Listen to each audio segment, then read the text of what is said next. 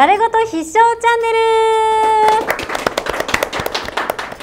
ル。先週はお休みをいただきまして柏木さん丹下さんご迷惑をおかけしました。どうだった？ハワイ。ハワイは暖かくて、いやいや違います。見ましたよ先週。はい。楽しそうな放送で勝手に焼き餅を焼いてしまいました。戻ってくれてよかったです お待ちしてました。先週行われた NHK マイルカップ。こちら一番人気のメジャーエンブレムが逃げ切りで G12 勝目を飾りました。桜花賞の一番人気4着敗戦からの巻き返し。お二人どのようにレースご覧になりましたか？君見てたんでしょ？そこにそこに出てくるんじゃなかったの？そうです。そうですハワイに行ってたんではなく、うん、実はこの NHK マイルカップを見に行っておりました、うん、ハワイ帰りにね。一緒にパドック見ましたよね。そうですね。どうでした？メジャーエンブレム見て。何とも言えないこうおっていうどっしり感なんて言うんでしょうあれは。見た時にそのうわすごいなって迫力があるっていうことはよくほらパトックの見方とか言うけど、そういうことじゃないってことだよね。見た時におおすごいなと思ったんでしょ？思いました、うん、それだと思うんですけど、うん。うん、すぐこう目に入ってくるような、えー、馬っていうのはね G1 の中で、えー、それはもうシンプルに勝てる馬だと思いますね。今回は強気に行くって宣言してたあのルメール騎手もクイーンカップと、まあ、ほとんど同じような前半で行ったんで当時よりは明らかに強くなってるんであの全体の馬場状態があるから時計はクイーンカップよりは遅いんだけどでも中身は今回の方が上だと思います。うん、逃げなくてはいけないタイプの馬だと思います。将来的にもどういうタイプに育っていくかもなんなんとなく見えてきたね。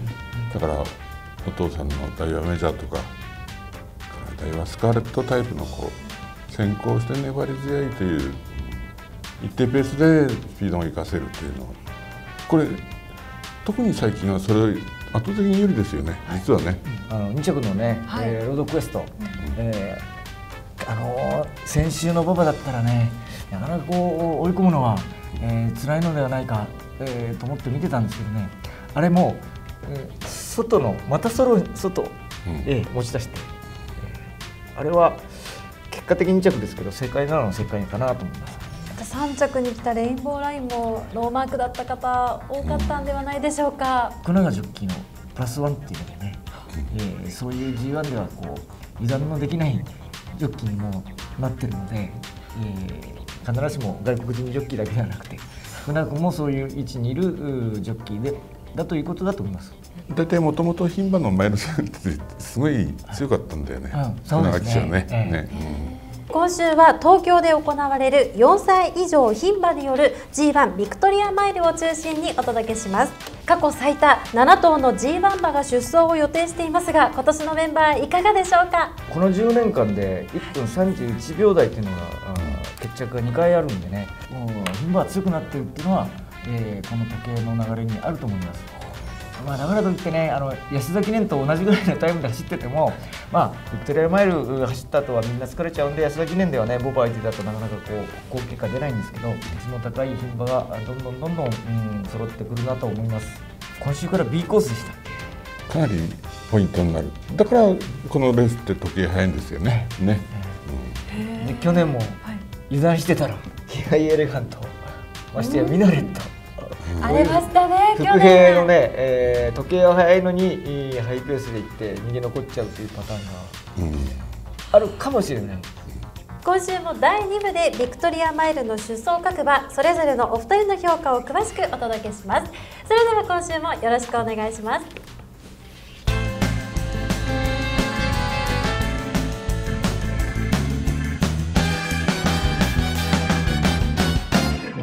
ビクトリアマイルをポイントで解説重賞のツボです。お二人に展開コースタイム機種血統スペシャルの6つのツボから1つを選んでいただきます。ではまず柏木さんのツボから教えてください。はいあのさっき丹下さんが、はい、今週から B コースだって言ってくれたんでね、はい、そのレースの流れレース展開。レース展開、うん、はい。スローの競馬が多いでもだからこそこういう G1 でいった馬が有利というポイントもあると思うんですが B コースになって1分31秒台とか32秒台になると今年の有力はどちらかというと刺してきた方がいい馬が多いんでね。でやっぱりあのそのミナレットケアエレガントもそれからビルシーナが逃げ切り決めてるとかやっぱりあの行ってる行ってる馬が B コースになった今週からというのは圧倒的に競られない限り有利じゃないか。で何が先行するのかな？展開の闇なんですけどね。ポイントの一つはここ2戦先行しているスマートレイヤーが今回本来の武豊騎手に戻って半分ぐらい先行しないんではないかなという気もするんですよね。いやそれは個人的な感覚です、はい、そうするともし仮にスマートレイヤーがあまり行かない行く素振りを見せないと波乱の生じる先行残りというのがありそうな気がする、みんな困りますね。どうやってレースを組み立てていくか。ああそうだよね、えー、スマートレイヤーがもう逃げてくれれば本当にこう、うん、レースの流れっていうのはいやだから23割ですよ、はい、いかないんじゃないかというのは、ここ2戦逃げてるのは豊か騎士じゃないからですよ。豊か騎士を追い込んできてたでしょ嫌だじゃないですか。人が成功した方法。私ならしない。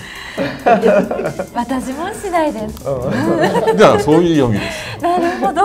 では続いて丹下さんのツボははい、といきたいところですが第1部お時間が来てしまいました。続きは第2部でお届けします。気になりますよね。もちろんお二人のビクトリアマイル出走各馬の評価もお伺いしていきます。お見逃しなく